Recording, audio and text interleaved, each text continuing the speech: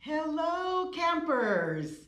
Welcome back to Education at our Koala Corner. Today we're going to work on the letter B, uppercase B and lowercase b. Alrighty, so just want to show you what we're working on.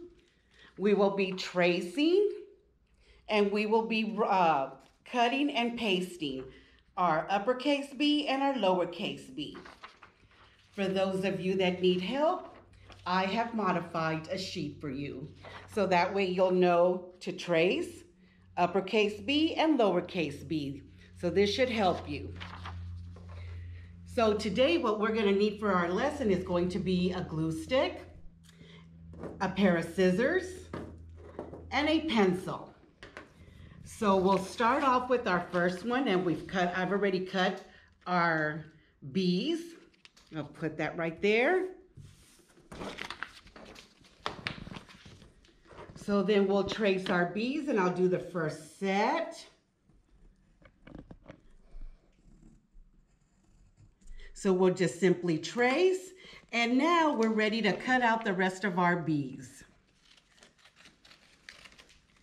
So I will do an uppercase and a lowercase to show you.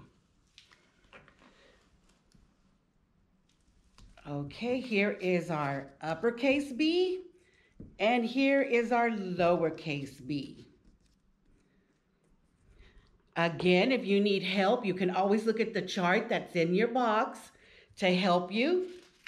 And then this here is our finished uppercase B and lowercase b activity.